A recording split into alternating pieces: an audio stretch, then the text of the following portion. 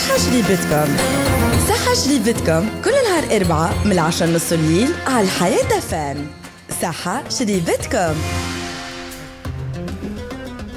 كان الشيخ أبو إسحاق إبراهيم ابن أبي بكر الجبنياني رضي الله عنه إذا قدم أحد من الناس إليه فسأله عن القيروان وعن العلماء بها فيقول إنما القيروان كالرأس وإفريقيا كالجسد وإنما يصح الجسد إذا صح الرأس. وفضائلها كثيرة شهيرة. وقد قال أبو إسحاق الفزاري في قصيدة كان أنشدها بين يدي يزيد الخارجي بمحضر علماء القيروان. فهل للقيروان وساكنيها عديل حين يفتخر الفخور؟ بلاد حشوها علم وحلم وإسلام ومعروف وخير. عراق الشرق بغداد وهذه عراق الغرب بينهما كثير. ولست أقيس بغدادا إليها؟ وكيف تقاس بالسنة الشهور؟ مستمعي تاج الصحة إذاعة حياة أم تحية طيبة وصحة شربتكم. صحة شربتكم برنامج سهرية كل ليلة خميس نرافقوكم من العشرة النصف الليل. نحكيو على عشقة نسجت محبتها في قلوبنا حكايات حومها زنقها ولوليا والصالحين. صبات الباجي حومة الجامعة البلغجية والسكاجين. والعين اللي ما تشوفكش يا خسارة كل اللي راتو والقلب اللي ما يحبكش قل لي اش يعمل بحياته. أكيد حبوا البلاد مزهود عطلة صدام علاني وعلي البراق وثوار صناديد علي بن عمارة جلاسي وجبل وسلات وعركة 54 نحتسبهم شهداء في العليين. كل هذا وأكثر يشاركني فيه ضيوفي الأعزاء الليلة اللي هما نبدأ بذاكرة القيروان. سي طارق العلاني صحة شريبتك. صحة شريبتكم وصحة شريبة كل من يستمع إلينا في إذاعة حياة ذاكرة القيروان نتعدوا إلى عاشق الأدب والفنون سي مصطفى الفارسي. مرحبا وصحة شريبتك. مرحبا سي معز صحة شريبتك وصحة شريبتكم الكل وصحة شريبة السادة المستمعين. ضيفي الاستثنائي الليلة ولأول مرة على أمواج إذاعة الحياة FM يلقب بالمايسترو. المايسترو اللي هو رياض عبد الله. سي رياض مرحبا بيك ونورتنا. وبيك سي معز صحة شريبتكم وبارك الله فيك على الاستضافة ذي وأنا في الحال اللي جمعتني مع ناس ما شاء الله ما هماش بعد على الفنون وعلى الإبداع. العفو سي رياض. يأمننا اللقاء متاع الليلة زملائنا أيمن وسهيل. نقول لهم ونقول لبقية المستمعين الكرام مساء الجمال على حبايبنا يا مثال الجمال أكيد سي رياض مش تكون بصوت. لطيفة العرفاوي ولي توفيق خير من صوتياني مثال جمال لطيفة العرفاوي أيوه. أيوه. بطبيعة الحال إحنا في المر بيدو فما زاد نهج مشهور وغير عادي ومش موجود في حتى مدينة من المدن العتيقة اللي موجودة في تونس كاملة. نهج سبع لفتات بخلاف زرقة المذبوح وغيره اللي نذكرهم نذكر حتى نذكر حتى الأساطير اللي تنحوم حولهم آه سبع لفتات نعرفوه إحنا آه بطبيعة الحال آه البداية نتاعو المر زنقة العلويني هذيك وفما عليه آه برانزو هذا. كانت عيادة نتاع طبيب اسمه برانزو مشهور هذا كان طليان برانزو. وبرانزو هذا كان معروف عند الناس الكل كان معناها الناس كل يمشي لها عنده كرهبة صغيرة يدور بها في وسط البلاد. يمشي له باش معناها يعود الناس على معناها في منازلهم. أي في منازلهم. à domicile ادوميسيل وكلمة على برانزو أنه يحكيوا أنه مره مرة فريجة نتاعو شوية تحك له من من من الكهرباء. عاد هو دخل الدار فما وراه كبيرة قال لها يمي جنات. روك شوية تحك لي الفاليزة. الفاليزة ولا راه تكسرت ودقدقت ما قعد فيها شيء. قالت له وليدي لا يخسر مسلم قال لا خسرني أنا. على كل حال. سبع لفتات هذيك علاش تقولوا فما ناس تقول سبع سبع فتلات فما ناس تقول سبع لفتات كيما صدام وصدام هي وناش سبع لفتات اليوم هذا موجود. الحكاية ما فيها وناش فيه سبع دورات. هذا الموجود. من الناحية المعمارية معناها. وهو بصفة عامة حتى الدورات هذوك معناها معناها مدروسة. حتى كي نشوف واحد الدار في وسط معناها في وسط البلاد تدخل تلقى السقيفه ما تراش الصدار والبيوت. تلقى السقيفه وتلقى دورة. هكا آه، باش معناها حتى كي تحل الباب تحجب ما تراش سترة. في الدار. ستره وكل شيء. السبع لفتات كما قلنا تبدأ من من من المر حق اليهود هذاك وتوفى وين آه، نجيو ماشيين للسباوجيه والسكاجين والبلاغجية ومرشي الحدادين والحاجات هذه ومن جملة الحاجات ثم أسماء موجوده موجودة في تونس العاصمة. كيما مثلا القصبة. ما نعرفوا بطحال القصبة في في في تونس. رئاسه الحكومة. أي وين رئاسة الحكومة. فما مكان اسمه القصبة. القصبة اللي هي في بطحة الجرابة في بطحة زروق. ثم مكان في مجمع سكني اسمه القصبة. ثم أسامي أخرى مثلا كما نقولوا إحنا؟ القصبة زاد مش القشلة اللي نقولوا يعني كانت يسميوها القصبة لا زاد اللي اللي هي البركة ثك تو. في في القصبة ما كانت تكون قشلة قشلة القشلة وظهر يسميوها. هذيك هذيك قصبة سماوها ال- بطبيعة الحال هي تسمي سكنة بتاع اقترانها بالجيش. هي اقترانها بالجيش. هذيك القصبة اللي توجدت معناها ما تسميش قديمة. القصبة القديمة وين تبدأ الخضراوي يعطيك صح. وين تبدا الخضراوي يا تدخل داخل ثم تلقى تلقى والدار الخضراوي يسكنوا فيها. عائلتين ولا ثلاثة خضراوي نعرفها بالتفصيل. الخضراوي يعطيك الصحة. وهي المنطقة كلها تسمى القصبة. القصبة هذيك آه، من جملة الأسامي نلقاو المرأة اللي موجود في باب جديد في تونس. نلقاو مثلا الحلفوين الحلفوين اللي هي موجودة في السوق. عندنا الحلفوين أي عندنا الحلفوين القديمة. القديمة مش عندنا في الحلفوين نتاع الرحمة. الحلفوين القديمة العديد من الناس ما يعرفوهاش وشهرتها باش كانت؟ كانت يتعاملوا فيها الحلفة. الحلقة معناتها هم مش على ناس. الصنعة اللي موجودة فيها على الشغل اللي اللي في وسطها معناتها بالطبيعة إحنا كي نجيو نشوفوا السوق تلقى الزراعية وتلقى كل واحد الحجامين وتلقى نقطين النقاطين وتلقى من حانوت بيت الصيغية. العروسي عبد الله أبو قميص. هي حسرة هي هي نقطين بطبيعة نقطين. الحال. اي وهما ذوما صناعة الأحذية القديمة النقطين. سكاجين. وتلقى السكاجين والسكاوجية وغيره. الحلفة وين موجودة؟ وين آه، بعد الصيغية؟ وين ثم القهوة هذيك يقولوا قهوة حسنات.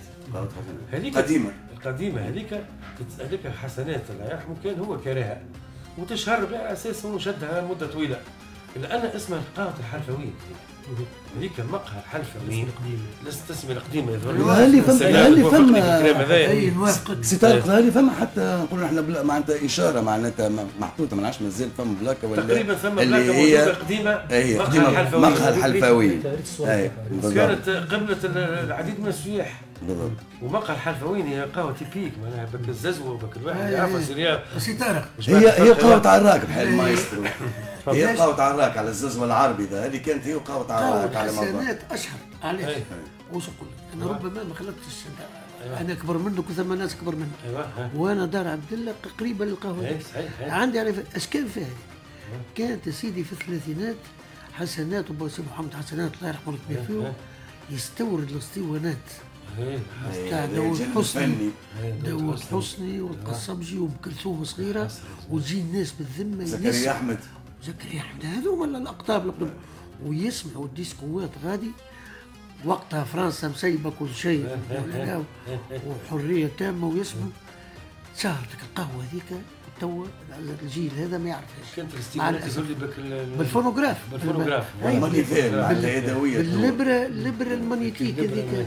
يعني تاريخ حسن. هذا مع الأسف. مقهى ونادي ثقافي تنجم تقول وعلاش لا؟ لا. نادي علاش ثقافي لا؟ وكانت- ثقافي شكل من الأشكال. وكانت قبل فيها حتى الماكلوات والحاجات الناس يقعدوا قاعدة- بالراحة، أي، وخساره الحق آه، الله غالب وشي- وتعاملت فيها حتى الأفلام. يعني تصورت فيها أفلام. بالحق. فيها أفلام. أي. جبت لها فيلم حتى تونسي فيلم تحت مطر الخريف اللي تسجل كله في القوات الخشين. سي أحمد الخشين. يذكره بالخير. آه، تعمل منها برشا معناها بكوت سان تعملوا في القهوه حسنات. أفلام إيطالية سي طارق أفلام تسجلت. فيها تصورت فيها. لص بغداد أي. ونسيت البقيه خاطر في الستينات وأنا صغير 61 واحد وستين صح أي. معناها كانت معلم معالم كانت معلم من المعالم. ويعرفوا قيمتها الغربيين الطلايب والفرنسيس. يعرفوا إيش معناها القربان خسارة الحق. وللاسف تو في المغرب بدلوها معناتها ولات تمشي الوجهه نتاع المنتجين الأجانب أي. يمشي للمغرب أي كانوا نعم. باينين تقريبا نفس الأثار اللي عندنا نحن معناتها معاودينها تي بي سي. باش يتم استغلالها كوجهة سياحية في نفس الوقت وجهة للإنتاج السينمائي فعلا. عندهم عندهم مدينة في المغرب اسمها مدينة. القيروان مدينة القيروان مدينه القيروان هي في المغرب موجودة باسم القيروان صحيح. نقلا عنها معناتها بطبيعه الحال وأكيد إنه حتى الاشتكي يعني الهندسه المعمارية اني تقرب معناتها يعني ربما جبت حكاية المعمار ماذا بيا كلمة صغيرة أيوه تفضل. المعمار بتاع المدينة الإسلامية نعم. آه، نجموا نعتبروا النسخة القيروانيه هي النسخة الأصلية لأنه ما سبقش أن تاسست مدينة المدينة. الأولى في ال- المدينة الأولى في العالم. آه. في العالم في التاريخ. عاصمة أفريقيا. بالفعل هي بالمعمار هذا الموجود فيه. هي النسخة الأولى. هذاك علاش؟ حتى النسخ اللي تعملت من بعدها نقلاً. قريبه ياسر قريبه ياسر من النسخة القيروانيه لأنه حتى ال- في المدينة المنورة هي كانت مدينة ثم دخلها الإسلام. موجودة مدينة مؤسسه ثم دخلها الإسلام. وحتى المدن اللي فتحت في في في الشام وفي غيرها هي مدن موجودة حتى فيها الكنائس وتبنيت مساجد مقابله للكنائس في سوريا تلقى مسجد صحيح. مسجد مقابل. كنيسه معناها اذا هي مدن موجودة المدينة الوحيدة اللي ما كانتش مدينة مؤسسة بالضبط ما فيها ما فيها حتى شيء ما فيها حتى شيء. كان أرض آه، أرض خلاء وبعد آه، تبنيت وأصبحت وأصبحت مدينة ال- ال- ال- المعمار نتاعها كيفاش تبني؟ يعني هي ما نقلت على حتى حد دونك ما باش نقل- عليها. النسخة الأولى بالضبط. هي النسخة الأولى. بالضبط. النسخة الأولى تقوم على أساس أنه يكون الجامع في وسط قلب المدينة. ثم الداير بالجامع يكونوا دور الأمراء وقواد العسكر. ثم الداير باهم تكون حزام آخر حزام ثالث اللي هو حزام العامة من الناس. ثم حزام آه، آه، رابع اللي هو الأسواق. ثم حزام خامس اللي هو الأسواق. ثم بشوي بشوي وقت تعاملت الأبواب ولات المدينة تتسكر تسكر الأبواب نتاعها. ولاو يجيو الناس اللي يدخلوا يحبوا يدخلوا البلاد ويلقاوها مسكرة يربطوا خارجها. وبشوي بشوي الأرباط. الربط نحن نقولوا الربط توا. الربطات اللي هي خارج سوق. علاقة خارج. للغاويين بالمكوث مكوث. ربط ربط ربط ربط ربط مكاني في ربط المكوث معناتها. علاش سميت ارباط هو يمكثون ربط فيها. خارج البلاد. خارج السوق. يعني خارج ال- السوق. ثم ال- ال- ال- ال- الدار نفسها يعني تصميم ال- الدار العربي. الدار معناها على على ال- ال- الطراز الاسلامي يلزم من شروطها أنها شبابكها كي تتحل على الشارع البرا ما يتحلش الشباك مقابل الشباك عمرك ما تلقاش دار شباكها مقابل الشباك نتاع الدار الاخرى يعني الكشف. يلزم أي الكشف. ما فماش ثم ستر وثم ثم حرمة مراعاه حرمة. السقيفة اللي كان يحكي عليها توا ستارة يلزمها هي كي يتحل الباب يلزم تكون السقيفة ظلمة. باش المرأة كي تقف في وسطها ما تتراش ترى هي شكون في الشارع وهي هو في الضوء، هو في المضيئة، الضوء هو في يترى، المنطقة المضيئة هي في. المنطقة المظلمه اذا هي ما تتراش يعني يعني مدروسة. مدروسة. والباب نفسه كان فيه ثلاثة ثلاثة حلقات. حلقة حديد كبيرة تتحط هذيك عندها صوت خاص. يدقها تاني مع- الرجال معرفة- يدقوها تاني معرفة- الرجال. معرفة أنه معناتها الزائر معناتها. را- أيوة. راجل أي مهم ثم حلقة أصغر منها. شوية على اليسار أيوة. هي آه، أصغر منها شوية وعندها صوت آخر مختلف أيوة. اللي هي حلقة النساء حلقة صغيرة لوطه بكل هي حلقة الصغار اطفال الصغار. وتكون قربت لهم، وتكون قريبة لهم من ال- ما يقعدش يتعبش في البيت باش بالضبط. شفت معناتها ال architecture والفكرة طبعا هي. مربوطه هي ال architecture مربوطة بالمنظومة القيمية اللي جابها الاسلام. بالقيم الإسلامية بالأخلاق الإسلامية. ال- ال- ال- الباب الدار باب الدار البراني كيفاش يتعمل العلو نتاعو؟ قبل ما يكون ثمك الباب العالي في وسط الخوخة نعم. الباب اللي كي يتعمل يتعمل على طول الراجل مول الدار يقف مول الدار ما يكون قصير طويل. يقف ويكيلوا عليه هو يعمل باب الدار. ما تكونش مرته هذا طولها لازم مترو. آه. المهم على على لازم. يتعمل لازم يتعمل على راجل هذا الفكرة على كل هي من يعطيك الصحة مصطفى زي إضافة مصطفى. تصديق لحديثك. أيوه. في وقت من الأوقات صارت توأمه سي طارق ما بين قيروان ومدينه فاس المغربيه المغربية. كان تثبتوش عليها السبعينات صارت توأمه هي صارت توأمة وبالطبيعة أنا زرت مدينة فاس وتشبه قريبة ياسر. قريبة ما. يدل على تشابه أي، والصناعات والنحاس والحاجات هذه أي. الهندسة. العمارة الهندسة المدينة العربي العمارية. تشبه برشا يمكن حتى أكبر خاطر مدينة فاس. تتذكر أنه توأمه مدينة ها؟ القيروان. وزاد نحب نضيف أنه معناها ال- المدينة كما قال بدات بدات المدينة. ما بداتش نقولوا إحنا قرية ولا تطورت إلى آه. مدينة بدات من لا شيء أصبحت مدينة. و يعني جميع عناصرها تركزوا فرد وقت. فما مواصفات المدينة موجودة فيها. من ذلك انه كل حومة تلقى فيها جامع وتلقى فيها آه، كوشة تاع خبز وتلقى فيها حمام. بصفة عامة الحاجات هذوما عناصر. لابد منهم. ونعرفوا إحنا اللي مثلا خبز الطابونه اللي هو معناها مشتهي الناس كل تشتهي موجود في الأرياف. الارياف ما تلقاش عندهم كوشة كل شيء.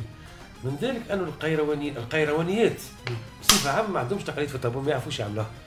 بينما في أماكن أخرى في قرى الساحل ولا في ولا في غيره تلقى عندهم التقاليد هذه ويعملوا طابونه قراوا علاش؟ على خاطر ثم الكوشة اللي هي موجودة ويعملوا خبز الدار. ونعرفوا إحنا العادة القديمة اللي كيفاش الصينية نتاع نتاع الخبزة تحط قدام باب الدار مغطية ما ناقصها حتى شيء أي واحد من ولاد الحومة الصغار. يهز الكوشة نتاع الحومة يعرف على الكوشة شنو وهنا تلقاها هي بصفة عامة. مقمره البونو كعبة فول. كعبة فول أو حمصة أو حمصة. كعبة لوز ولا قرصة ولا ساعات.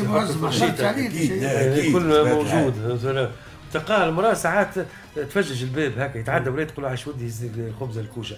تلقاها الراجل خرج على بكري ولا حاجة وما عندهاش حد صغير ما عندهاش باش. يعني هذه تقاليد توجدت غاد تو الحق يتقال ما عادتش تو خبز الدار. قليل. يعني تقرق به مولا الكوشة باش يعمل لك خبز دار. قرض تماما وزيد ثم ولاد ثم نقولوا إحنا الفول في وسط الدار ثم الناس تعمل. الوسائل تطورت ولاو ينجموا حتى في وسط المنزل يعني. ال- ال- الخبازة في القروان زاد مشاو خطوة كبيرة ولات تت- متوفر الخبز هذا الحاجات اللي حتى ال- القمح وغيره وكل شيء أنواع وأشكال موجودين وهذه الناس الكل تجي حتى من المدن الاخرى والقراوة كي يمشيو يهزوا الخبز. خبز. بصفة عامة يهزوا المقروض والخبز.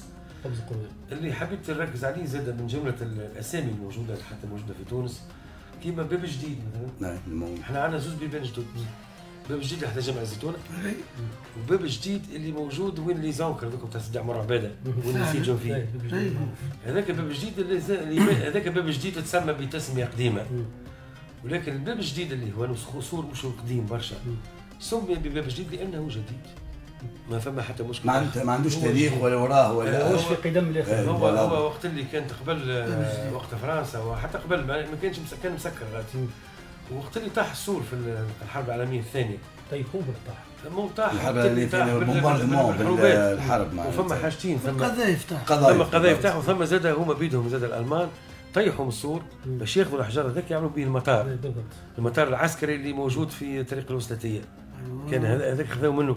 هيك علاش الألمان قعدوا يدفعوا مدة تقريبا تقريبا 10 سنوات؟ تعويضات إيه. تعويضات جات تقريبا ثم اعتمادات باش يصلحوا المدينة العربي ويصلحوا السور دفعتهم للمان آه، الباب هذاك باب باب, جديد. من بيبان القدوم مثلا باب الخوخة. على على اكل عندي تصويرة قديمة. تصويرة قديمة كيفاش الفرنسيس داخلين من جيرة باب الخوخة. باش يحتلوا المدينة نعرفوا إحنا القروات آخر مدينة مدينة احتلت. لقاو مقاومة كبيرة في ال- لا ما لقاوش مقاومة الحق اللي يقال معناتها في إنه ما المقاومة توجد في تونس كاملة. القروان- آخر مدينة دخلوا لها هي القروان آخر مدينة. ما فيهاش مقاومة لكن آخر مدينة كانوا خايفين منها برشا. آه. وعلى ما نعلم رهبة رهبة نفسية معناتها مش ثم ثم خوف من الواحد آه. قالوا يبدأوا بهذوك اللي هما أقل واضعف والقيروان كانوا استعدوا استعداد كبير. وفي الآخر وقت اللي كما احتلوا بلاد كاملة. كان زايد حتى القايد المرابط ما حبش آه، يقع تدخل عسكري هو يدخل في مواجهة. خاطر ميزان القوى مش مش مش متوازن. كافة مش كافة هذا علاش؟ عاد فما التصويره هذه في باب الخوخ علاش كان ريتاشي مرة؟ والله ممكن آه، فما العباد كيفاش يغزروا من فوق من فوق السور والله يوخينا بالحصنة نتاعهم بالسلاحات نتاعهم هنا باش يحلوا الباب. منظر ما معناها. عام هذا تقريبا. في 1881 أوه. عام دهب فرنسا. اي اي يعني فرنسا تصور معناها قديمة برشا مش رائعة. هيك كانت بالمصورات اللي تحطوا في لا، إيه، مقدم إيه، إيه، صدق. في بالي معناتها على بالك علاش قلت لك المقاومة في بالي معناتها فرقة معناتها قبيلة زلاس معناتها آه، تصدوا معناتها قبل الدخول هذه كمعطى معناتها لا، يعني معناتها استقيتوا. قبيلة آه، زلاس. من جملتهم علي بن عمارة. هذيك هذيك في ال- علي بن عمارة قاوا في فهمتوا؟ لا، مشى- مشى وصل للساعه ومشاو ومات غادي. طلع اي مات غادي علي بن مات عمارة غادي. جلاسي علي بن عمارة جلاسي لكن المقاومات. اللي صارت الكل قمعت قمعتين بالضبط. وقت اللي دخلوا الواحد على ما نعرف القايد المرابط ما حبش يقع في مواجهة. يقول لك ما فيش فايدة. ما فيش فايدة زي. الحرب هي لا تقام إلا لما تكون آه، ثم معناها. توازن في توازن في القوى. ال- في القوى يقول لك علاش نجي نقوم بحرب معناها يمكن تكون معناتها الرو- ارواح بشريه تمشي فيها معناتها. واللي ضحايا وتقول. ضحايا. البيبان هذوما بطبيعة الحال كانوا يتسكروا أي صحيح. بطبيعة الحال. ثم إحصاء لهم. طارق والله تقريبا للبيبان. ثم أربع خمسة بيبان حسب ما نعلم 57 تقريبا هكا. لأنه ثم بيبان خوينا تحلت. وثم أي كيما باب جديد اللي قلت لك. الحل ما كانش. موجود كيما باب الخوخ اللي يسميه باب الخوخ كي زوز قواسم قابلين قاعة آه، عزيز ميلاد. يسميه باب الخوخ مش هذاك باب الخوخ هذاك هذاك زوز قواس تحلوا جدد كيما في تونس العاصمة اللي بجنبه باب الخوخه اللي بجنبه هذاك هذاك الصحافة اللي مش تو موجود. هذاك تو موجود هذاك. بطبيعة الحال صح. وكل مرة عملوا ترميمه. وملازم وكل شيء من ذلك أنه فما ثم نكتة قديمة أيوه يقولوا معناها أنه فما واحد آه، يدور بالصياغة نتاعو يمشي للاسواق يبيع ويشري. نهار من نهارات روح شكاره بالصياغة يعني شرى برشا.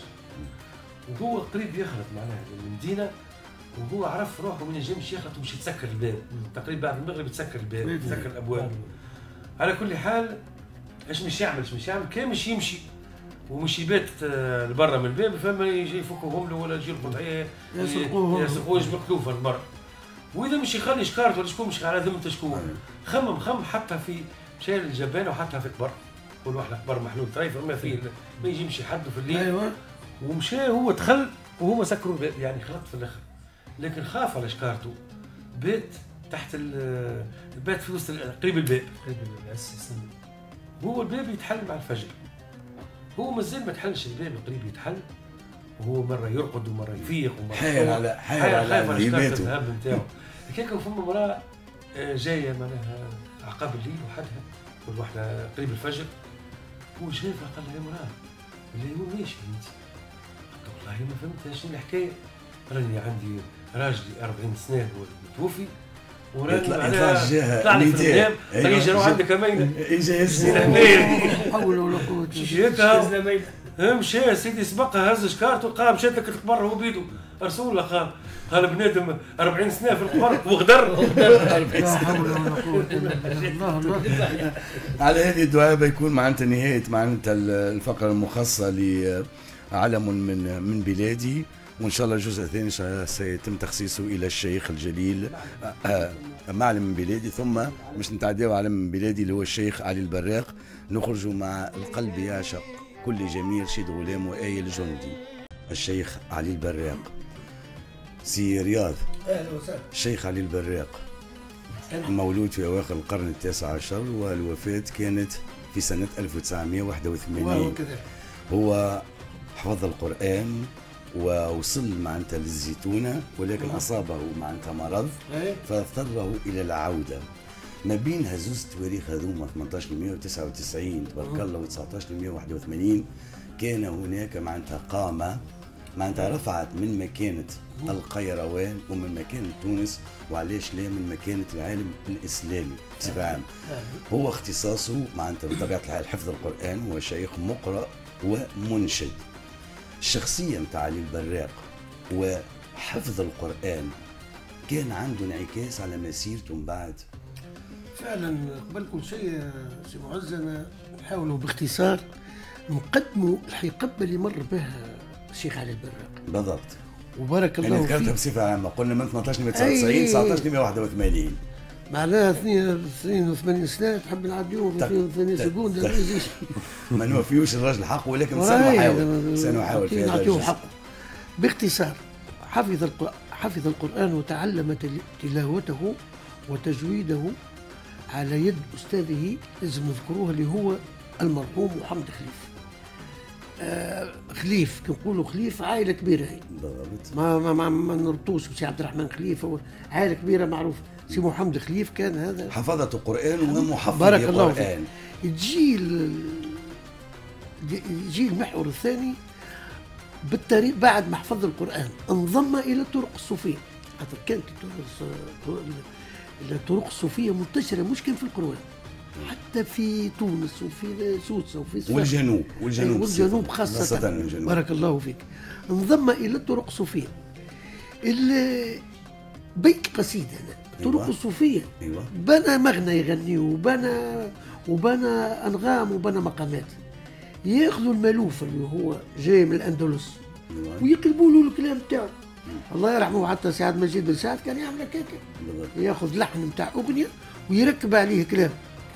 هو يا بنت المدينة مغنية مغربية ردها يا تاهنا بنا إيش بيه صحيح ما فيها حاجة حلوة يا زلمة. وطلعت حلوة زاد أي نعم. انضم شيخ علي البراقي إلى الطرق الصوفية. باهي نقولوا إحنا نشرح ما تقدمه الطرق الصوفيه الصوفيه وارتباطها بالملوف.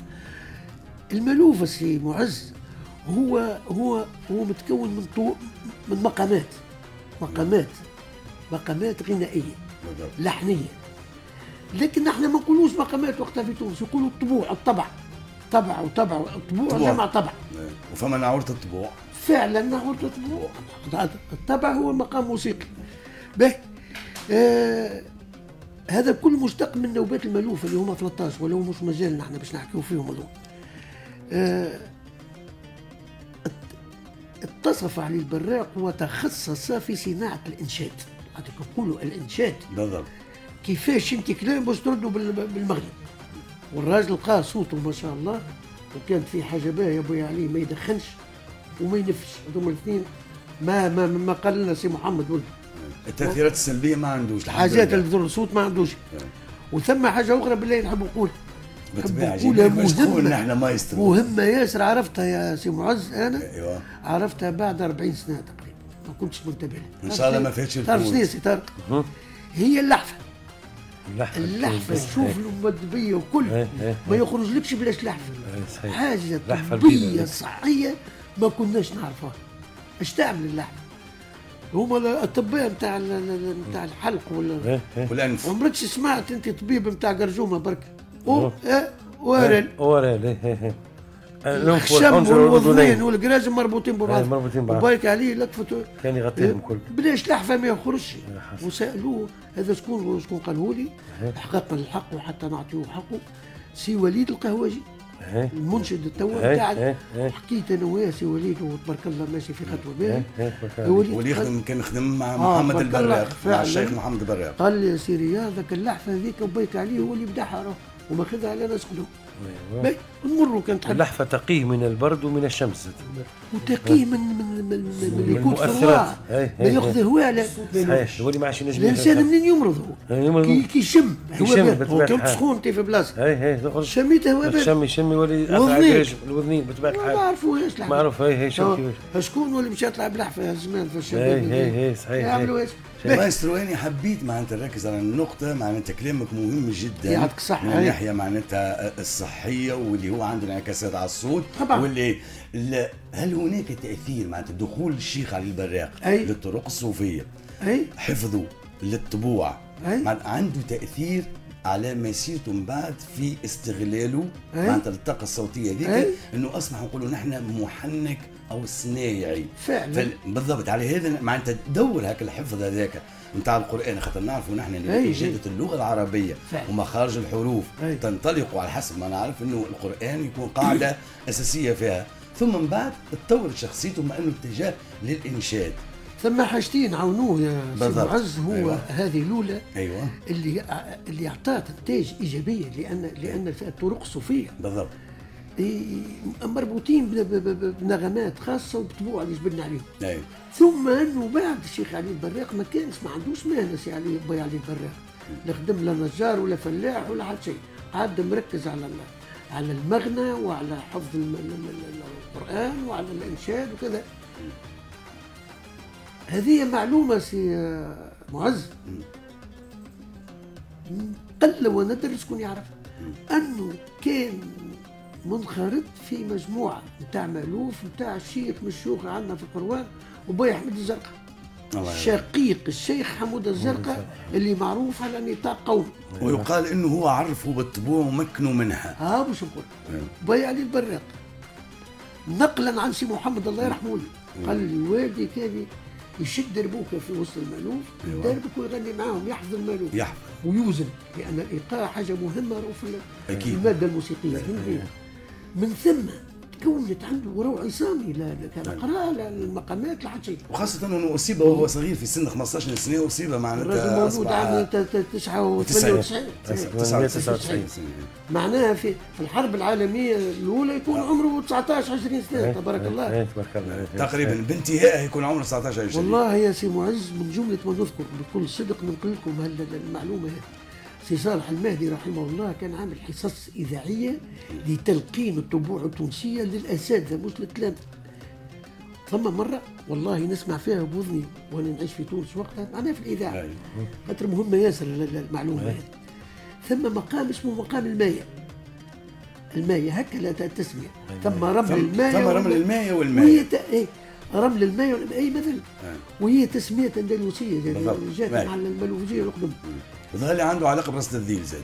ر- لا- لا، ك- لو كان- كعائلة لو كان كعائلة تحب معناتها في تفسير الحكاية هذه نقولها كمعطى تساعدنا تساعدنا ها، في تحليل؟ في تحليل الصوت والمقامات اللي يتبعها. الشيخ معناتها. البراق. أقرب حاجة لتفسير قيمه علي البر بالضبط. هذا على؟ المقدره الصوتية نتاعو حفظه وتنفيذه للمقامات هو الأذان اللي عنده ما نجم يعاودوا حتى اللي نحن جايينه جايينه في الجزء الثاني والله. في المحور الثاني مش. نحكيو على المساحات صالح. المهدي ترك مقام الماية ومن بعد بكل أسف قال لهم شوف مع الأسف من بعد الاستقلال ما ريناش ملحنين طب- طبقوا طبقوا المقام هذا وباختصار شديد اللي يحب يفهم مقام الماية يسمع الشيخ علي البراق في قصار صور نعم. وتحب نعطيك هو عينة. هو هو نعطيك هو- منه تحب أنا مش نجيك تو مش منك يقولوا جديد. هو يقولوا الماية معناتها. لست معناتها من. العارفين. إنه القرار كي يكون رست. ذليل. الجواب نتاعو. الجواب هو مش تخرج بالضرورة تمشي للماية كمعطى ربما يكون هذه مع- معلومتي والله معناتها- شوف، إيه. معناتها هو في الجواب رست إيه. الليل إيه. على خاطر ذكرتني بالأذان نتاع الشيخ علي هاتوا اللي هو اللي هو معناتها ربما. النموذج الأمثل معناتها فكي عنده تنقلات بين القرار والجواب تحس فيها انتقالات مهمة جدا مش نحكيو عليها. من بعد سي معز أنت بكري يعني ما زلت كي قلت هذه الكلمة قلت لي الماية ورصد الذيل رست الذيل إيه. حاجة مهمة اللي قلتها علاش؟ لأن المقامات الطبوع التونسية سواء عندنا ولا في الشرق عندهم تسميات أخرى يعني. اش تلقى؟ تلقى الأصل والفرع. تلقى الأصل. وراني اكلم فيك أي. بكل تواضع عندي راية ثابتة بإذن الله وعندي دراسات ربي نحن عندنا ثقة في المايس بكل تواضع. مانيش سامحهم من اين كان. أكيد. أنا خلطت على سي قدور الصرارفي في سي محمد التريكي لا جويني كل نعرفهم وخدمت فرقة إذاعة. وهالأمور هذه مضبوطة ما فيش لعب كي نقولوا رصد الذيل تلقى عنده ولاد عم أخرين خمسة ولا أربعة. من فرع كل العيله ما صحيح فرع- الأصل والفرع. تقول الحسين أيوه. ثم الحسين ومعها اربعه ولا خمسة. خمسة. حبش نقول لك نكته على الحسين؟ اي ماذا بينا؟ قبل باهي. ما نتعداو النموذج ثم الله يذكره بالخير سي فتحي زغنده إيه. جاء القروان في السبعينات 76 5 في الوقت هذاك جاء باش يجتمع ب- بالموسيقيين ويعني دورة من الموسيقى مؤتمر وحاجه هكا. وكان هو كان عنده وظيفة في وزاره أي التربيه كان- كان رئيس إيه. المسقى رئيس الفرقة رئيس قسم الموسيقى. ورئيس مصلحة الموسيقى. الموسيقى. في الوزارة أي، حتى قال. غزر القاسم الدليلي الله يذكره بالخير قال وين نعرفهم وين وزاد السي عبد الله والشواش قال له راهم والله فيهم اللي ما في بالهمش هاتوا نعيطوا لهم مشى خطف في روحه على بسكليت وجاني أنا ومختار السواسي وكان معنا سي الحبيب بن مبارك شو هي كريميسي أيوه اشهر مننا على ها هو. يعرفه آه، على ذكر هكا يسمع لي وصل حديث في. وسعد. قال له بالله. كرموسه. شغل كرموسه وقت اللي وقفوا معناتها الحاكم في دورية قال له أعطيني بطاقة التعريف قال له الوجه هذا كله ما ززكش بطاقه التعريف. تحب معروف. معناتها أشهر مننا على العالم سي مالا حبيب ستار. بن مبارك فعلا. كريميسه مالا. بلا سي طارق جاء معانا سي الحبيب كريميسا شو إيه معروف صافحه قال لي مش هذا قلت له هذايا سي فتحي راهو عنده tempo في الدربوكة وعنده خطبة محترمة ياسر وراهم يتعلم على أبي حمود الزرقاء وبي علي ميمون وجماعة قدم أو حفيظ بشير وخذاه كان monologuiste هكا يعني في de luxe قال له قالوا لي تعرف المقامات وطبوع؟ قال له إيه علاش لا سي فتحي؟ قال له تنجمش بربي تعطيني الحسين وفروعه انت فكرتني تو. ما يعرفهمش هما. وهما كي تقول مقام الحسين. إيه ثم حسين الأصل حسين صباح حسين نيرز وحسين عشيران هذوما الخمسة. باش ما يتعطلش كريميس قالوا نعرفهم قالوا شنو؟ قالوا حسين العمراني وحسين سعد الله وحسين السرجان وحسين سمان وخمسه خمسة أسماء بالعسيل قالوا يعطيك صحه إيش زايد عليك نرجع قبل ما نمشي للنموذج تفضل، المايسترو أي، لو أي. سمحت. خليني نستشهد بالشيخ الحصري اللي. هو أبو ياسمين الخيام. إيش يقول في ال- على القارئ؟ باش. نرجعوا للصوت. الله الله. يقول القارئ يحتاج إلى موهبة وصوت ليأتي بألوان مختلفة للمعاني المختلفة. يعني ألوان مختلفة؟ يجانسها يجانسها معاني مختلفة أو تتولد عليها. هذا علاش ركزت قلت يعني التكوين الشخصي نتاع الشيخ علي. البراق هل كانوا معناتها انعكاس باش أحبك هالصنعة هذه؟ نتاع نتاع المعنى في اقترانه بنوعية القراءة. يعطيك الصحة سي معز وقاعد نذكر فيك بالحق. يعيش عرفت. والله العظيم. سؤالات هذوما. والله مش اللي يجي يسأل في محل وهذه حاجة حساسة جدا جدا. علاش وبي علي ساعة ما يسمىش تجنيس يتسمى التجسيم بالميم. نعم. يجسم شيء شيء. على على على على معنى معين. إي أما أنا قلت في انطلاق في- من جنس من جنس الحاجة هذه تعرفش علاش عنده المقدر ذي؟ بالضبط هذا إيش حاب لأنه نعرف حفظ القرآن على على قاعدة يعطيك الصحة رجعنا النقطة الأولانية ما عملنا اللقلقة عملنا أيوه. مخارج الحروف أيوه. عملنا ما ما يسمى في ال- في- في- الغنة والت- الغنة هذوما في البلاغة في أي. و- و- واتقان القراءات السبعة عنده دخل آه، مايسترو 100% شوف أكيد اي معناتها مش معناتها قراءات مختلفة في في مصر سي معز أيوة. ما شاء الله نقول لك مصر أي. عنده مقرئين متخصصين في الشيء ذا نسمي لك منهم مصطفى إسماعيل. اي وي- ويسامحني مصطفى إسماعيل إذا ما سميتش قبله محمد رفعت لأن محمد, محمد رفعت, رفعت. number 1 نعم. فماش لاعب اي عبد الوهاب يبكي كي يسمع هو تحوم توسكم بعدها هذه حكاية أخرى ان أي. في حصة ان أخرى. شاء الله. فهمني التسييم هذا بي عليه. وثم معلومة أخرى. شكون جابها لي؟ جابها لي عبد الرزاق البراق ولد خوه. الله يفرج كربه. وربي يشفيه. ويريد عبد الرزاق المعلم أي عبد الرزاق ولد بي معاذ. الهادي ابوه كان دلال دلال نتاع زرابي في الربع تا اش يعمل بيك عليه؟ ما ما ما, ما, يعني ما, ما تستغربش يجيوا الاسطوانات من الشرق لشكون؟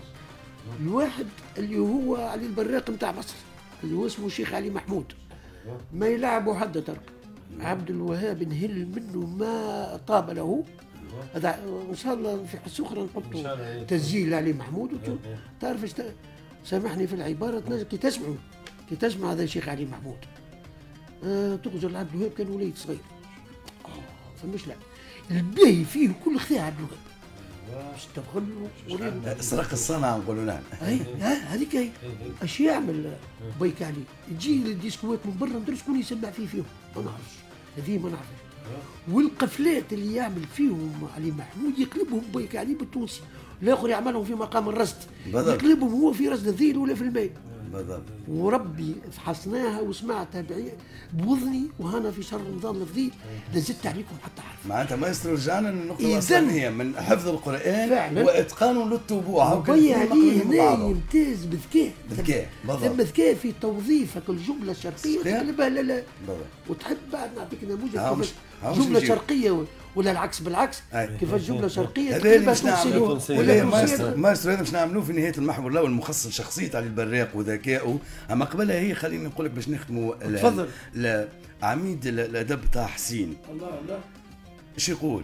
يقول الشيخ علي البراق فهمتني ولا ترتيله هو ذلك الترتيل الأقرب إلى الأصول التي كان يرتل بها القرآن زمن الرسول الله هذه معناتها الخاصية والخلاصة بعد سماعه لاستوانات على أي. البراق. هذه الخلاصة اللي يهمني يعني هو الرجوع لك الأصل اللي تحكي رغم المقرئين الأعلام كنت تحكي عليهم تو في, في الشرق. في مصر بالأساس نعم. وإنما لم يصف أي مقرئ منهم برغم انه وذنهم عبيه بهم عندما سمع الشيخ علي البراق يعني عجبتني صورته هذيك يرتل كأنك ترتل القرآن في زمن الرسول. يعني كأني فما هك الروح الأولانية. نتاع يعني 14 ناس ق- بالضبط يعني قبل ما يتركب عليها نقولوا نحن قوافي أخرين وقفلات. أخرين معناتها هذه اللي هي خاصية في الصوت. فعلا سي معز تفضل تفضل سي. طارق في تفضل جامع البي كان مواكب الجامع البي الله يرحمه يعني البراق.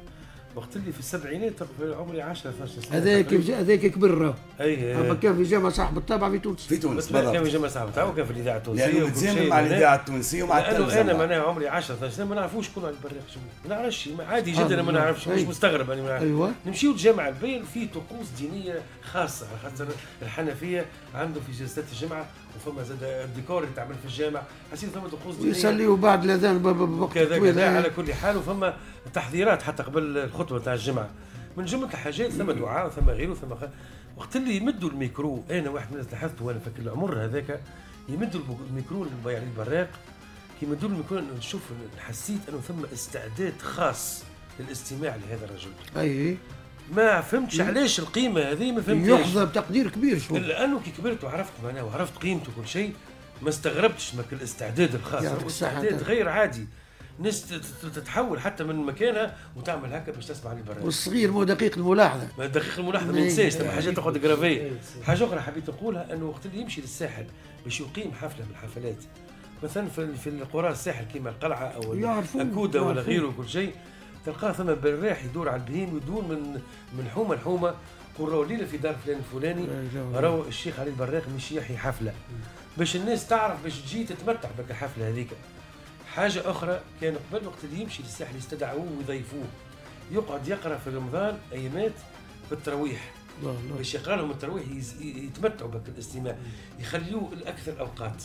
باش يزيد أكثر نهار أكثر متعة. السي طارق على ذكر الساحل خاطر أيوة. زاد هذه نقطة مهمة أيوة. عندي أنا عائلة أحبابي في سوسة ها دار زين العابدين اللي منهم. سي محمد الوزير محمد زين العابدين كان وزير الثقافة يجيبوا علي البراق لدارهم في سوسة سي الهاشمي زين العابدين كان من. فقط التعليم. الثانوي أيوة. ويعملوا لهم الموا... يعني المواكب الدينية نتاعهم وذكرى ال- الوفاة نتاع جدهم فلان وكذا هذه كل حكاهولي سي حميد زين العابدين عم الوزير قال لي الشيخ علي وتهرب على البراق زاد. ويجيوا للسيد راهو شيء يعني.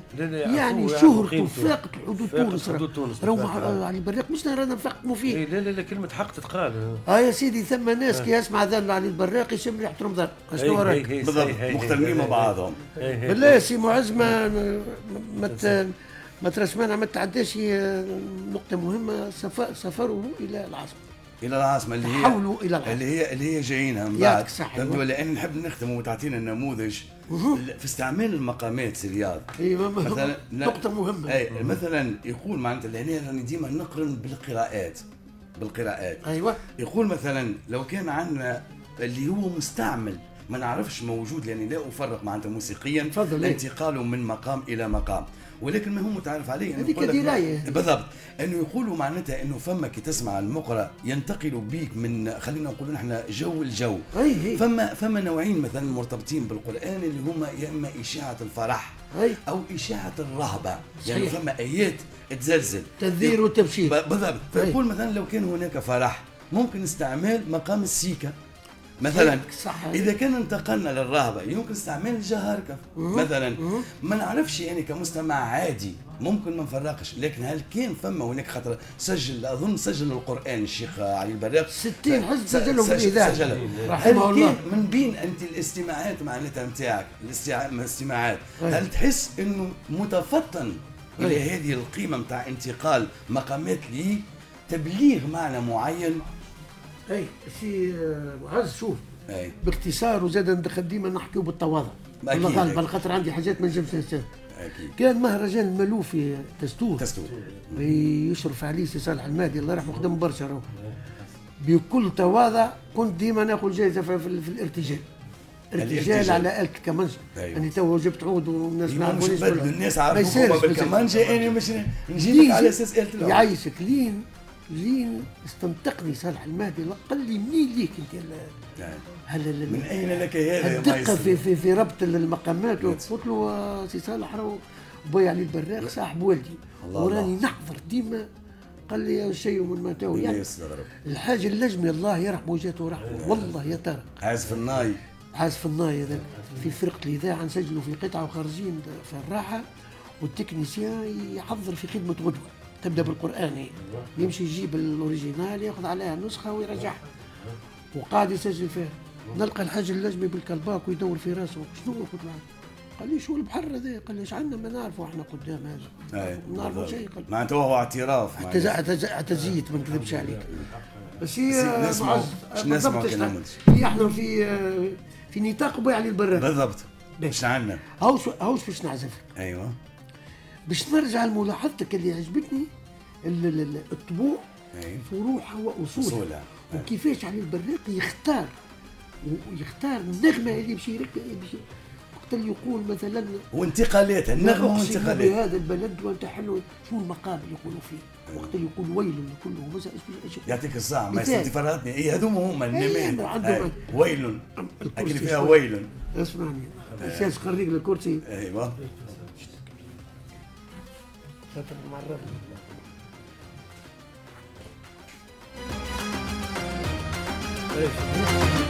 نحن نستخدم مقام الماء مقايم الماء مقام الماء اللي هو تخصص فيه يعني. أكيد. تعمل منه نموذج. نموذج.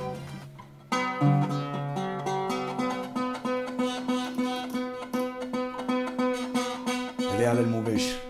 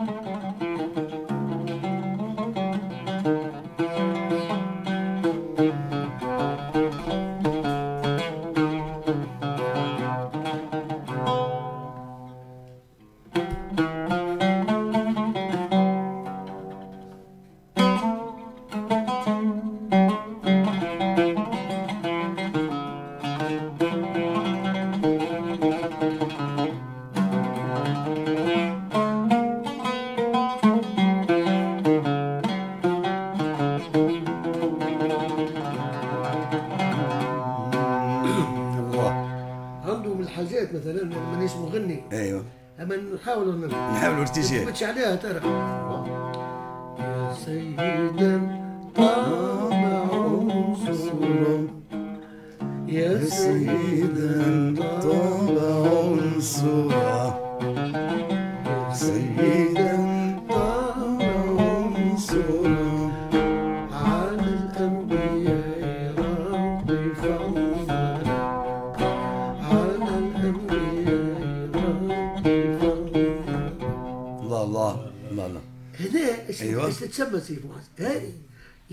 تتسمى السلطنة.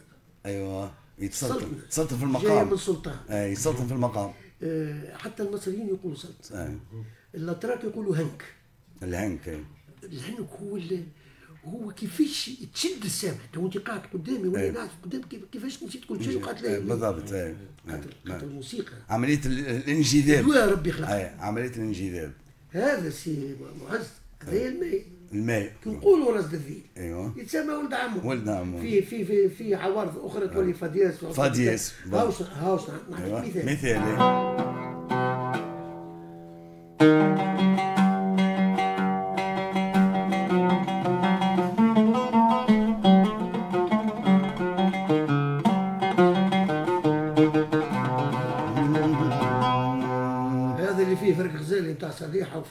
وفيه و- وشرقي وشرقي جبدة بالزين. يعطيك الصحة. نميت نمنم خليل زاد ما أي بالضبط. نميت نمنم خليل على موضوع يعطيك. الصحة. أنت تو باش باش نربط معاك يعني مش نسمعك. أي نعم. مش نسمعك للشيخ معناتها علي البراق معناتها قصيد. إن شاء الله باش نربط جيس مع ال- اللي كنت تعطينا فيه في نموذج. عمري عليك تشوقا الله قضيته عمري عليك تشوقا قضيته. نسمعه ومن بعد أمان قلبي الذي لا زال فيك متيما. صحة شربتكم سي طارق العلاني. يقول عبد الحليم لو بدينا نبتدي منين الحكاية؟ منين البدو اليوم؟ حولنا زنقنا. بالضبط. حكينا على الغربة وحكينا على مقام أبو زمع البلوي اللي سيدي عمر عبيدة. الصحبي وعلى سيدي عمر عبيده كل شيء ومدى تعلق العباد بال- بالم- بالمقامين هذوما. اليوم إن شاء الله باش ندخلوا للمدينة العربية والنسيج العمراني الموجود. وبطبيعة الحال معناها الانفلونس هذه الموجوده في النسيج العمراني موجودة تأثيرات. تأثيراتها من الحضارة العربية الإسلامية بطبيعة الحال. من ذلك أننا نلقاو الزنق ونلقاو الصباط ونلقاو لحوم ونلقاو الأنهج والزقاق. هذه الكل معناها بطبيعة الحال آه، ال- ال- الناس اللي صمت وبنات باعتماد على الحضارة العربية الإسلامية. من ذلك انه الزنقة مثلا بصفة عامة تلقاها فيها عائلات مع بعضها فيها عدة ديار لكن ما تلقاش حد براني بعد بطبيعة طبيعة الديار وسكنت ناس أخرين وكل شيء وفما شكون كراه لكن من الأول الزنقة تعملت معناها على أساس أنه العيلة تسكن مع بعضها ما يجيهم حتى حد معناتها سي طارق فما علاقة قرابة دموية معناتها تكون تجمعهم قرابة دموية هذيك ال- البداية ونأكد لك حاجة أنا هاني ولد المدينة العربي مولود فيها كل شيء فما توا إلى يومنا هذا ثم زنق ما دخلت لهمش على أساس لا عندي لا دار عمي لا دار خال.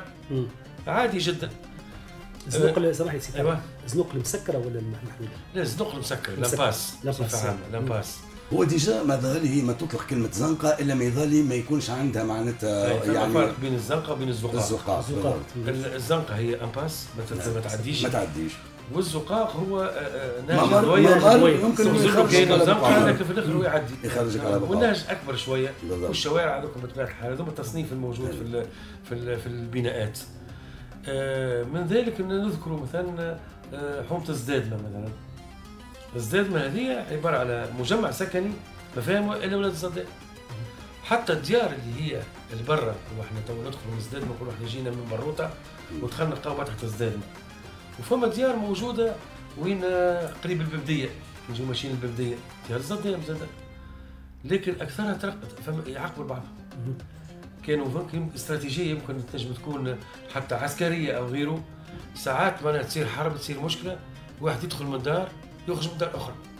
والناس تبادل الزيارات مع بعضهم. ينفذوا على بعضهم. الزيارات تنفذ على بعضها الناس يتبادلوا الزيارات حتى بين بعضهم.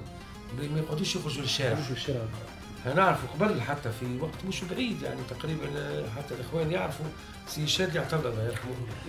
موجود في حومة الشرفة سكنتو كان وقت اللي يجي ال- باش يمشي للثانيه بال calèche يحطوا ملحفة من من شيرة اليمين وملحفة من شيرة اليسار. وتخرج عائلته ويطلعوا في ال calèche ويمشوا للذراع. مفهوم الحشمة مفهوم الحشمة. محافظين. ناس محافظين. بصفة عامة. وهذه معناها الطقوس اللي اللي يستانس بها منها سكان مدينة القيروان حاجة أخرى نجم نذكرها مثلا الصباط اللي يقولوا هكا. قبل الصباط ال- العائلة اللي قلت عليها فماش ارتباط في سكنتها بالوظائف اللي يشغلوها أو برتب معينة. والله بالنسبة تو في الوقت معناتها نحكي على وقت عائله الزدان مثلا بالطبيعة على سبيل المثال. فما باش مئات الزدان مثلا هو اللي هو آخر تقريبا آه، آخر امام في جامع عقبة من عائلة الزداد ما تقريبا لمدة 200 سنة ما ما يأموا ما يأموا آه، جامع عقبة آه، وامام جمعة بطبيعه الحال هم عائلة الزدان متوارثوها أب عن جد. وظهر لي تصديق القول سي عبد الرحمن الخليفي الشيخ عبد الرحمن الخليفي خذا على آخر امام اللي هو. طه الزدان بطبيعه الحال آه، سي طارق فما هنا إحنا قلناها ربما زلة لسان. فما الزاء وفما الصاد. ولا موجودين الزوز ولا هو لحن في القول فقط معناتها نجيو نقولوا الصدام نقولوا الزدام ولا ما تفرقش عنا هو لا. هو هو الأصل كلمة الصدام. الصاد الا انه الكلمة آه، يعني مش مش زوز عائلات. لا لا هي الزدام. فهمتوا لا صدام هي بيدها. هي نفسها فما شكون يقول الزدام بالزاد؟ معناها بالزاء هذيك أخرى. أما هي صدام الأصلها لكن النطق يكون هكاك وكهو عيلة صدام عيلة كبيرة إحنا نقولوا زداد ما ازداد ما ورا المهم أنا نستانس الكلمة كما هكا. ومن نزيد نذكر ال- البليش اللي كانوا موجودين في جامع في جامع الحنفي. البي جمع الحنف الجامع الحنفي. هم حنفيين. حنفيين. وعائلة البليش أب عن جد هم الأئمة اللي بتاع جامع جامع جامع البي ظهر لي آخرهم اللي قبل الثورة اللي اخر. إمام بلايش قبل ما يجي. الامام سي محمد الله يرحمه اللي اتت أخيرا توفى. سي حمد البلايش. سي حمد حضرنا البلايش. عليه وإحنا صغار. وزيد آه، حاجة أخرى أنه آه، عائله البلايش في وقت من الأوقات جاء الشيخ شادي العلاني. الشيخ شادي العلاني يأم الناس ويعمل خطبة لأنه بعد آه، سي أحمد القروي عمل جامع بالذمة للشيخ شادي العلاني. باش كل جمعة ي- يسمعوا هو منصورة. هو جامع سيدي غيث سيدي غيث جامع سيدي غيث تبناه في عام 76 تقريبا واصبح تو متداعي للسقوط وتو يقع في ترميمه. آه، في ترميمه وكل شيء. من جملة الحاجات اللي نحب نقولها في المدينة العربية الصباط يبدا موجود. ساعات تلقاهم آه، عيلة يسكنوا مقابلين بعضهم. عيلة وعيلة أخرى مقابلة بعضها إحنا نعرفوا اللي من قديم الزمان الدار العربي تلم عيلة كاملة. واللي يتزوج ياخذ بيت من البيوت ويسكن مع وليه الدنيا صعيبة مش الناس كل تنجم تشري ديار. وكانت الناس تتعايش مع بعضها ويعيشوا مع بعضهم. الصباط هذاك كانوا ساعات تلقى واحد عنده ولده مش يعرس والدار ضويقة. يطلب من جاره باش يركز عليه الحيط هذاك ويبني عليه كل واحدة باش يسكن فيه ولده مش يعرس بناء فوق الصباط آه، فوق الصباط يعملوا الصباط هذاك بخلاف بطبيعة الحال هي خطت عليه الصباط تلقى قواس موجودة باش تشد البني صحيح. لكن ما تلقاش بني. كمش بني. فوقه. هما يبنيو فوقه من أجل الحاجة هذه. هذه حاجة من الحاجات. نوع من التضامن معناتها. تقول أنت. التضامن. كانت قبل الناس متضامنة مع بعض. عندنا في القروان عندنا البيجي. ثم اللي برشا اللي مبني فوق منه. هو بصفة عامة ثم تقريبا فوق ال 128 فما 128 صباط 124 كان مهم تقريبا جدا الرقم. لكن مش كلهم بسماهم. اللي بسماهم ثم صباط الزبيدي صباط الباجي صباط الرماح صباط آه، الطيف آه، هذوما الصبابط الم- المشهورين المعروفين. ويمكن ثم صبابط اخرين ما نجمش نذكرهم توا. لأنه فما نقولوا إحنا ال- العمران اللي بين آه، بين البني باش يشد بعضه. وفما زاد الحاجات اللي من أجل الحاجات هذه تتوجد باش الناس تتزوج وعندها تلقى وتسكن. وفما كلمة صباط زاد آه، تنجم مستخرجة من كلمة آه، كلمة يهودية. السبات نعم، السبت. أي السبات يوم نهار السبت. الشبت. الشبت هكا السبات السبات اللي اصبحت صبات كيما الصدام اصبحت صدام وشنو علاقتها بتسمية يوم هما هما اليهود عندهم السبت. عندهم طقوسهم ليلة السبت أو نهار السبت. نهار هذه. السبت. يعملوا أجواء خاصة. نهار السبت يعملوا فكر عليه هذاك ليلة سبت ليلة ليلة السبت السبت السبت ليلة وموجودة السبت حتى في.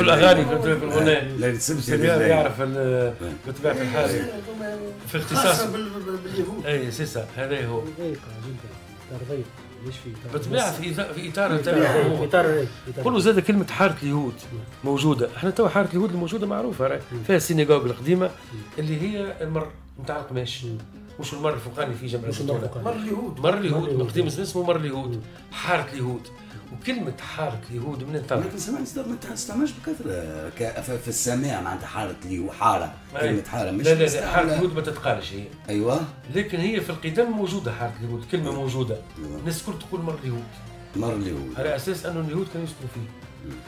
آه علاش كلمة حارة من طلعت بالضبط. هما اليهود كي يجوا يسكنوا في المدينة يمشيوا للمسؤول على المدينة. يقولوا إحنا القايد ولا الموجود. يقولوا نحبوا بلاصه نسكنوا فيها وإحنا ماك تعرف عنا ديننا ومالك شيء منها نطلقوا العباد الآخرين كل شيء. يقولوا أنتم قداش من واحد قلنا أنا حارة هذيك هي الحكاية. آه فتسميت حارة. حارة اليهود. حارة اليهود. بصفة عامة يعني. يز- يزد- يزديدوا من بعد معناتها. يتوالدوا يتوالدوا في الباس الكل يبداو بحارة. كيما في سوق في سوق القرانا اللي هما خذوا في تونس العاصمه سامحني. تفضل سي من ألطاف اللهجه وحاره. وشو حارة؟ وحلوا فينا براج في العرب. إي هما ولاو شبروا حارة تو ما عادش حارة بركة. أما كلمة حارة اليهود يقولوها العرب على اليهود. هما اليهود في بعضهم ما يقولوش راني نسكن في حارة اليهود. لا ما يقولوش. تو قرطاجيه هذيك حارة اليهود هذيك حارة اليهود؟ بطبيعة الحال اندثروا تو هما ما- إيه، ما عادتش موجود حتى في القرون ما عادش حتى واحد. حتى يهود اخر واحد فريجة ما عادش تعرفوا سي رياض حق المعرفه آه فاتي الصحة يعطيك الصحة فهمت ولا؟ وحتى وزوز ال synagogue ظهر لي زادت تبدلت ولات كتاب في آه، وقت من الاوقات. ما خلطتش عليهم. انت لا أنا ما خرجتش كلمة آه،. حكم سني أكبر منك شوية خلطت شوية عليهم وبرا إيه، أنت خلطت تريح يعاشوا والله. يعاشوا وتعاشوا آه. مع العرب. على ما نعلم أنه اليهود كي يجي يسلم على واحد الصباح يقول له شنو أحوالك يا جاكوب مثلا. يقول له لا يوريك مريت ولا يذوقك ما ذقت يعطيك الصحه هو إيش يعمل اللي يوريك مريت كل يوم يحل الكاشة بتاعه يتفرج على الذهب. ولا يوريك. مريض. ويأكل العسل ولا يذوقك ما ذقت هذه الكلمة المشهورة المعروفة. طيب على هذه الدعابة معناتها نخرج مع حمزة شكور يا إمام الرسلي وموجز الأخبار ثم لنا عودة. في جوابي خلتنا نعوم في جوابي واحسبها ربي رجعنا مع الجزء الأخير معناتها المخصص للشيخ علي البراق ومع المايسترو رياض عبد الله. سرياض في الأخير معناتها ولأننا نقر بأننا لم نوفي الرجل حقه ولكن أكيد أنه خلى معناتها ورثة مش نحكي الورثة معناتها من الناحية العائلية فقط أما نحكي على المسار ال- الفني شكون اللي كمل أو كيفنيش كمل حادوا على المنهج اللي حاولوا يقلدوه. حادوا عن المنهج كملوا في نفس المنهج. معناتها كلمة عليهم باش نعرفوا على الأقل تواصل إرث هذا الشيخ الجليل وكعلامة من علامات المضيئة في العالم الإسلامي نقول فعلا. شوف سي معز ال- توا ال- الشهادة هي هي هي وصمة. واحد كي يشهد ما اللي يعرف؟ بالضبط. آه، التوارث هذا في في الابداع هذا أيوة. هو بي عليه حاول حاول باش يخلي لأن كل من عليه فهم الناس كل تموت وكل نفس ذائقة الموت ما فماش لعب. اللي خدموا معاه هما أقارب. محمد البراق. مصطفى مصطفى البراق عنده ولد اسمه مصطفى. واولاد خوه ولاد سيد هادي ولاد أبي الهادي. وابي الهادي البراق. يعني عائلة يخدموا مع بعضهم. يخدموا مع بعضهم.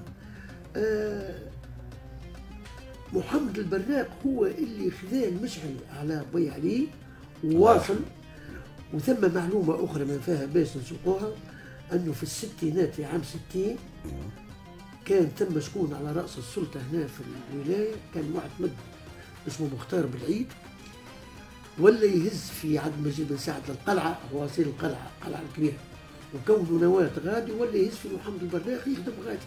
حتى معناه وقع ازدواج بين الفرق ولاو تعلموا علينا يا جماعة علموا. القلعة إيه، إيه. وخذاوا ال- وحلوا فهمني؟ آه الواقع انه محمد البراق عمل ثم مع سي محمد البراق جا صاحبي ولده بعد والله يرحمه. رحمه الله. وعملوا وعملوا مجموعات.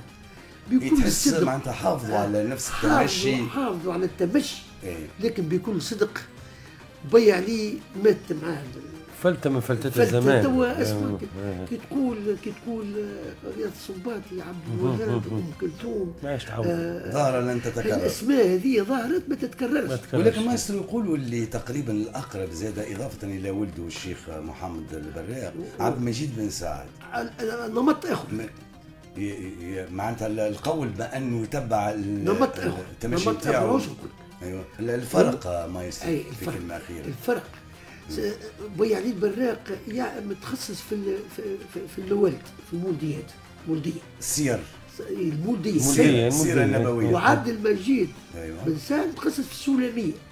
يعني اللي فيها البنادر وفيها ال- الإيقاع وفيها وفيها اللعب على المقامات و- ومعاه ربي زاد عطاه طاقة صوتية صوت كبيرة. لكن مع الأسف الفرق بينهم الاثنين أيوه. هو أنه الشيخ علي البراق كرس صحته وحياته للقرآن الكريم. كريم. ولم يمدح أحد ولم يحضر في هذه نقطة مهمة في لتتداول المديح عليها أنه والحج. لم يمدح اللي حتى ما نذموش حتى حد الله يرحمهم الكل المديح ماتوا مع مواليه يعني لما رئيس يموت يمشي معاه كل شيء. صحيح المداح الوطنية ولكن ولكن كتاب الله كتاب ربي يقعد ينتهي على طول هذا وأحسن ما نختموا به. وشكرا مايسترو. نخرج مع رثاس الشاعر نصر صدام عندما توفي الشيخ سنة 1981 ثم مع علي الباوي في نسيم الوصل.